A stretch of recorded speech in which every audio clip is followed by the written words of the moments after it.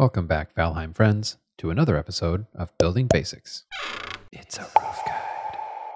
Let's get started. I had five goals in mind when I started this roof video. I wanted to demonstrate roofs from three different difficulty levels. I wanted to help create stepping off points from others to run with. I didn't want it to seem like my ideas were correct, standard, or the only way. And I wanted to show enough where people could replicate things if they wanted to. And I definitely wanted to have some fun with creativity. In the spirit of goal number four, these are all the roof building pieces we'll be using in this video. If you'd like to follow along at any point, I'll be using build cards throughout the video, so feel free to pause and revisit if you happen to be building something included in this guide.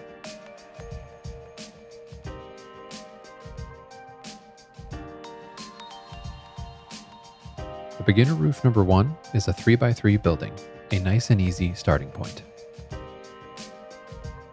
We'll start here with a wall and a half, as well as a wood gate, and we're going to throw 26 degree outside corners on each end. From here, we can easily fill those in or choose to use 45 degree pieces. I'm going to be sticking with the 26 degree pieces here. You might be tempted to fill this in with a wood floor piece, but don't do that. It's not going to count to cover your roof from rain. You'll want to use something like a thatch roof here. I've also included wood beams, but you can remove those if you'd like to. It's going to stop rain damage regardless.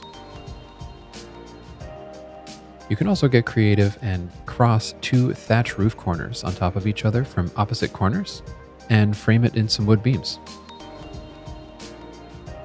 Let's take a look at another option to create some depth and even a basic build like this. Roof frames are a great starting point for any home.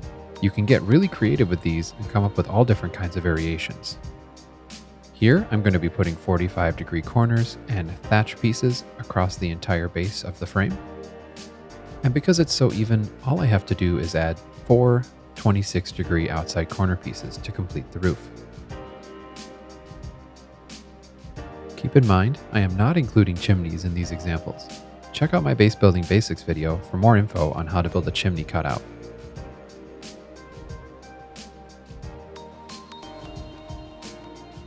This starter house is a 4x4 this time.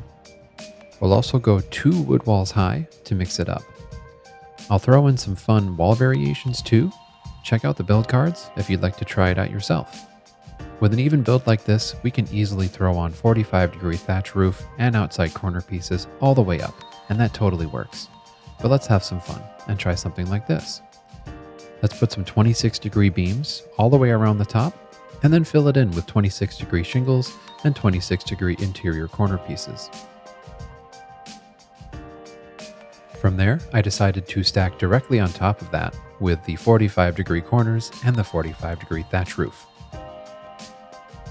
Once I got there, I did line the rest of it with 2 meter beams and used these little 1 meter beam diagonals to set my 26 degree for my next layer. You'll see me fill that in there, and then I just use some wood beams to create some geometric design. I then add 26 degree corner pieces to every corner, and honestly, this roof doesn't actually line up perfectly, so I did have to place these 26 degree thatch roof pieces manually. But obviously with the geometric design in the wood, everything looks really solid and we can move forward.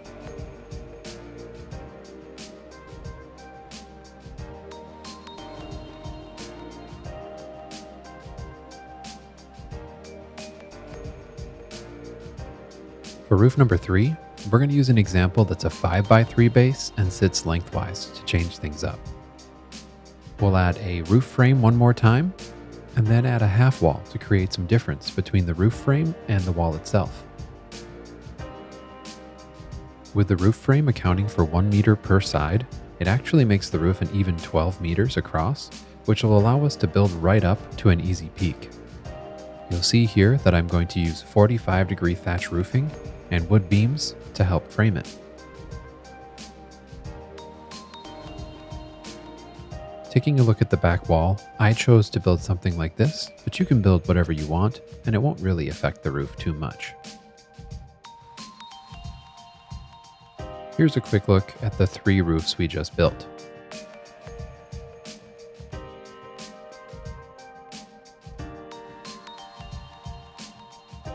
I went back and upgraded the roofs a little bit, expanding on the techniques that were shown in the last section. It probably looks like a little much, but just wanted to show how much there is to do if you wanted to. The middle house especially utilizes a lot of geometric movement with wood beams, which is one of my favorite things to do and will be showcased later on in the video.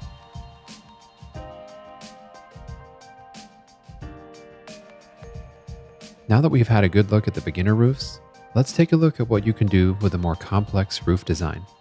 Feel free to pause the video at the top of the build if you'd like to build it yourself. The build cards will all be included. I'll also be including a secondary view in some places so it's easier to see how I went about building up in certain areas. Rewind and check out both if you're interested.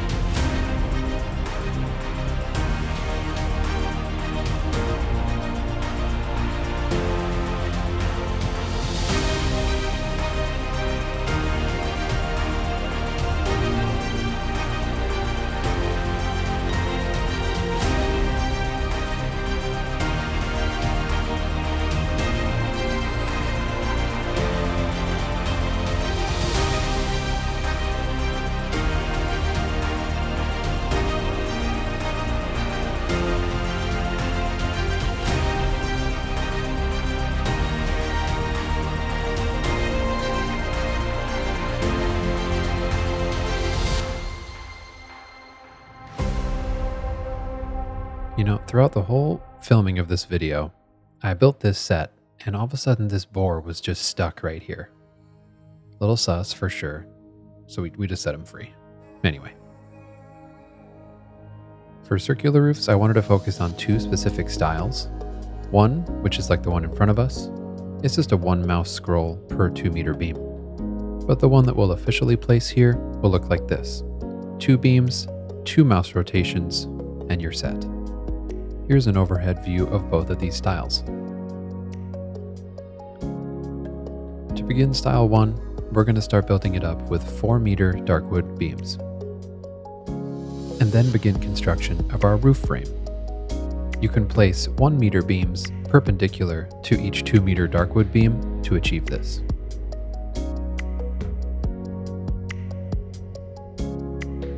From there, we're just going to place 45 degree shingle pieces all around the first layer and then repeat this on the second layer. Be sure that we're getting the snapping correctly, it can get a little tricky. The pattern on the top should look like this if you got it right. From there, we'll add 2 meter darkwood beams to every single shingle, and once again the pattern is going to let you know if you're on the right path. The shortcut to finding your center here is to use a 1 meter beam inside of the 2 meter dark beam, and then clip your 1 meter pole upwards and make a temporary frame so you can find your center. From here, you'll see me go back to the technique I've been using previously of using 1 meter beams at the diagonal to create a stage for my roof shingles.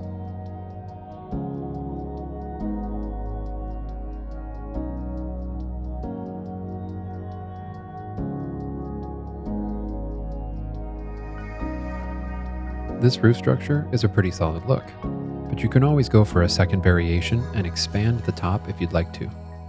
Here, I'm going to use 2 meter beams instead of the 1 meter beams to expand the top. Honestly, this one also doesn't line up, so you'll see me clipping each shingle to each one of the corners to make it work, but it's completely waterproof, so we're fine. I did have to put 2 meter beams inside here because I did not use iron beams on the original structure, However, it is holding up perfectly fine with those in place. It might look a little ridiculous, but I just wanted to show you what was possible. Moving on to style number two, a quick note, I did end up having to add iron beams to this build, so just an FYI. Um, I'm also using 2 meter beams all the way around so that I have a center snap point for these arrows that are also 2 meter beams, and that should look a little something like this. From here, we're just going to add 45 degree corners to every one of the arrows, and then 45 degree corners on top of each one of the others.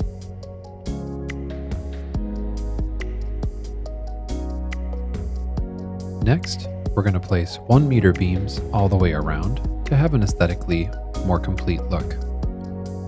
Finding the center of this one is a lot easier. We're just going to use 1 meter poles and build the roof of your choice. Here, I've decided to use 26 degree shingles. The trick to the bottom of this one is to put 45 degree shingles on either side of every 45 degree corner so you can get a nice geometric look like this and a nice closed look on the outside like this.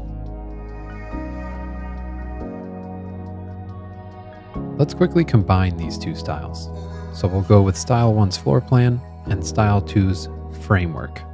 I did have to clip 1 meter beams inside of each of the 2 meter beams to achieve the center snap point for all of these arrows, and include iron beams into the framework. Same steps as before, we're going to add the 45 degree corners on both levels, and similarly, we're going to fill in the 1 meter beams at the top like this. And then add the roof of your choice. I did decide to build this one out just a little bit more because it was a bigger look, so we're just making the frame have a little bit more body than before.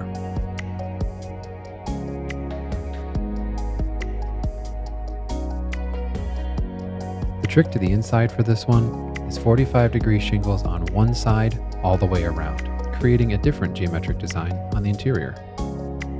In between making this video for these roofs, I also built two additional roofs to look at I just wanted to show what was possible with the techniques that have been shown, so here are some quick panning shots of two other roofs that I made.